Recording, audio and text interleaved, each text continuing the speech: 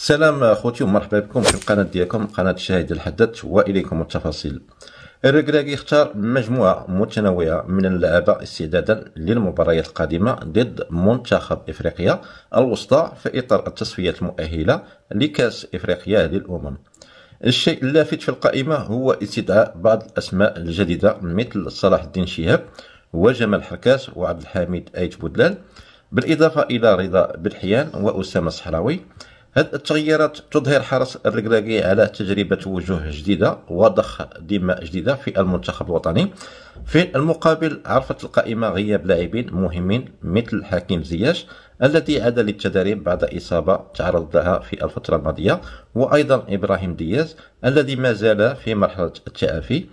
هذا يعكس أن المدرب يراهن على الحفاظ على توازن الفريق مع منح الفرصة للاعبين جدد لإثبات قدراتهم.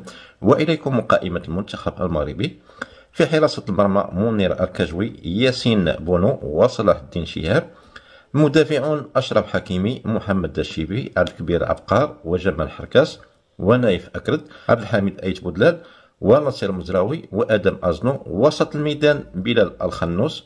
وإسماعيل الصيباري وسفيان مرابط وأسامة تيرغالين ورضا بالحيان أزدين أناحي وفي الهجوم إلياس أخماش أمين عدلي إلياس بن صغير وسفيان الرحيمي وأيوب الكعبي ويوسف نصيري وأسامة الصحراوي وعبد الصمد الزلزولي المباريات المقبلة ستقام في وجدة وهي فرصة للجمهور المغربي لمساندة المنتخب في هذه المحطة المهمة من التصفيات خصوصا مع تطلعات كبيرة للتأهل والظهور بمستوى مميز في البطولة التي ستقام على أرض الوطن وأراكم في فيديو آخر إن شاء الله.